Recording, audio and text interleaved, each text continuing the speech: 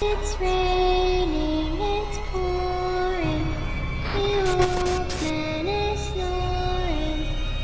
Went to bed and bumped head. Couldn't get up in the morning. It's raining.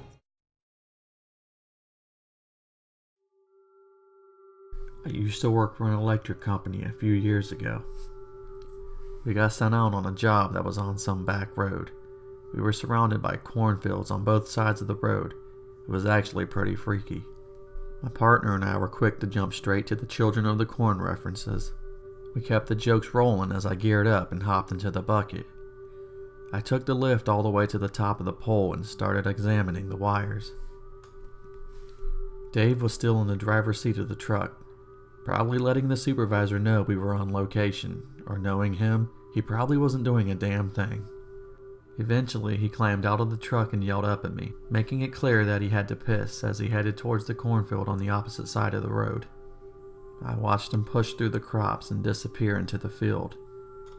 Now, it's not like I was keeping track of time, but it had been about 20 minutes and Dave hadn't returned yet. So I called out to him, waiting to hear some kind of stupid response, but I got nothing back. With as high up as I was, you'd think I'd be able to spot his head or something. But I couldn't even spot where he entered. It all looked the same. I took the lift down and waited another 10 minutes. After calling out to him a few more times, I knew something was up. I couldn't even get back into the truck because Dave had the keys with him when he mysteriously walked off. So I called my boss and told him what happened and that I was stranded. He said he'd have someone out to help me within the next hour. I swear, waiting there in the middle of nowhere, knowing Dave was somewhere out there, was the creepiest shit ever. When help finally arrived, they had a spare key so I could drive the truck back. The other employees seemed as if they weren't really concerned. They just laughed it off and drove away. When I got back to work, I had a talk with my boss, and his theory was that Dave probably quit and walked off. But it can't be that. Something else had to have happened to him. Even to this day, I still haven't heard from him.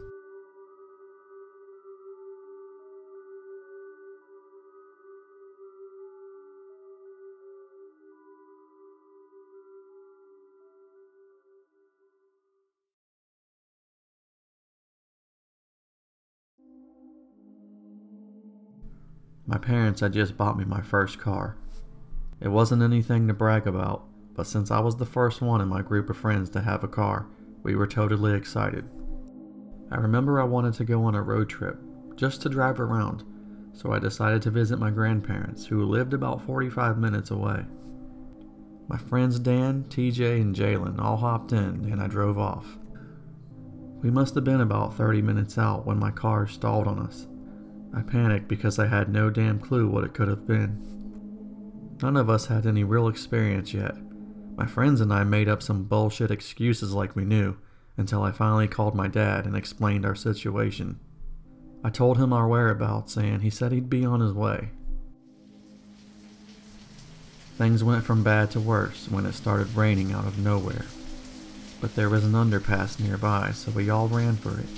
Shielded from the rain, we figured we were good for the time being. The clouds darkened the sky pretty quick, and there was barely any light under the bridge, so we all used our phones to see around us. We huddled around and tried to make the best of the situation until I saw something not too far from us shuffle around. I got everybody's attention as I shined my phone light in front of me. At first, we seen one shadowy figure slowly creep out of view as if it didn't want to be seen. As I tried to follow it with what light I had, we started spotting multiple figures moving around. Dan freaked out as he pointed to our far left. I looked over just in time to see the creepiest person I've ever seen. I couldn't even tell if it was a man or a woman. They just had long dirty hair with a beat up bruised face. I couldn't even make out what type of clothes they had on because of how ripped up and disgusting they looked. That's when more of these shadowy figures started coming out of the dark, revealing themselves. There had to have been at least seven or eight, and they all looked just as bad as the next. We started backing up as they lunged towards us almost as if they were fucking zombies. By this time, I had figured out a group of homeless people must have set up a camp under this bridge, and as harmless as it sounds, it was a scary situation to be in. We stepped back out into the rain. I think the worst part was knowing these people were still watching us and hearing them call out to us every few minutes, demanding us to get back in there. My dad finally arrived, and I don't think I've ever been happier to see him. Honestly, I can't even remember what was wrong with the vehicle. I don't know why, but I never told him about what happened.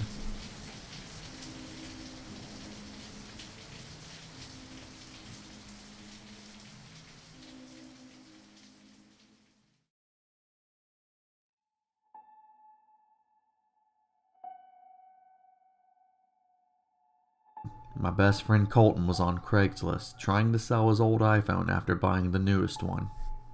This was pretty much a tradition with him, and I always went with him to meet up with the buyers. Other than a couple people trying to knock the price down, we've never had any bad experiences. Although, there is always that uneasy feeling every time before you meet up in person. This time, we were meeting a guy at a strip mall parking lot. It was his choice as he said it was a good halfway point, so Colton agreed. It was about 15 minutes away according to his GPS, so we got in his F 150 and headed that way. Once we arrived, I started scanning the lot, but I didn't see any other cars. I should mention it was around 9:45 in the evening, so all the stores were closed, and it was pretty dark other than the parking lot lights. At first I thought we were early, but then I noticed a man standing alone by one of the store entrance doors. Colton slowly drove across the parking lot until we were right in front of him. I rolled my window down as he made his way around to my side. He didn't say anything though. He just looked around inside the truck as if he wanted to see how many people we had with us. It was extremely odd. Trying to lighten things up, I jokingly asked him if he walked here. He didn't laugh, smile, or show any sense of humor. Instead, he kept his straight face and told us he parked behind the buildings. It seemed sketchy as hell, but we followed him as he walked around the side of the building, and sure enough, there was a black SUV. Colton pulled up next to it and started chatting with the man. I thought it was strange that he was asking us all these nonsense questions like how we were doing and what we've been up to tonight instead of just exchanging the money for this phone and getting it over with. That's when I heard what sounded like something falling or jumping in the cab of Colton's truck. We had the back window slit open too, so I know for sure I heard something. At first I looked at Colton to see if he heard it too, but he was still too busy talking. Before I could look back, I was caught completely off guard by a barrel coming through the back window. I knew right away it was a shotgun pointed right in my face.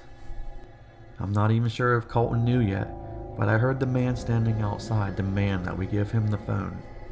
That's when Colton looked at me and froze up to the sight of the gun in my face. The man pounded on the door and demanded the phone again, and without hesitation, Colton handed it to him. Then the man took off towards the SUV, and two more guys jumped out of the back of Colton's truck following him. We sat in silence from the terror and shock, not sure what else was going to happen.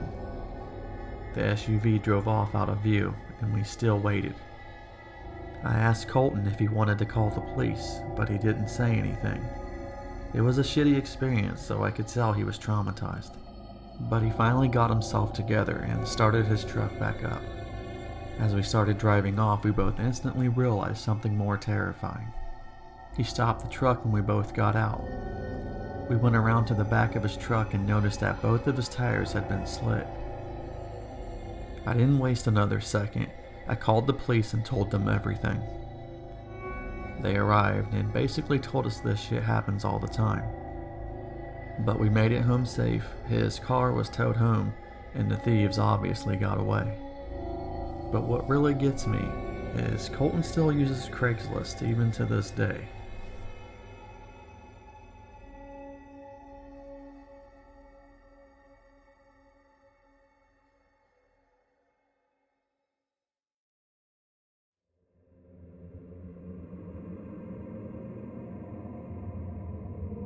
Friend of mine had invited me to a party he knew about downtown. It was one of those frat house parties, and he knew a lot of people attending. Me, on the other hand, I didn't know one person other than my buddy Steven.